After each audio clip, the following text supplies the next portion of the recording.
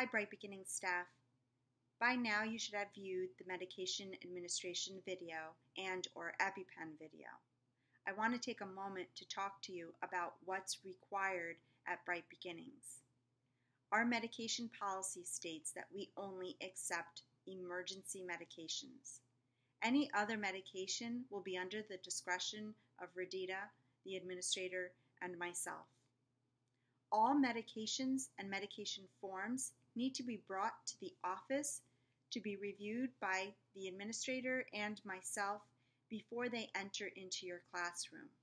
We want to make sure that all of the paperwork is completed correctly and finished correctly. We want to make sure that our medication matches our paperwork.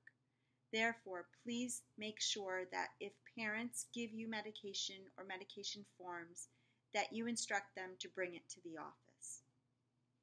This goes with topical forms as well.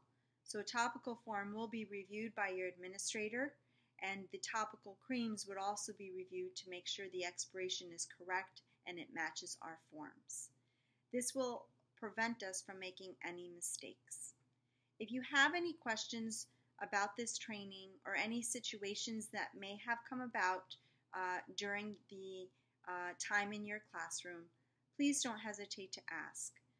You may ask your administrator, or if you prefer, you can also email me, and I'd be happy to answer any of your questions. Have a great day.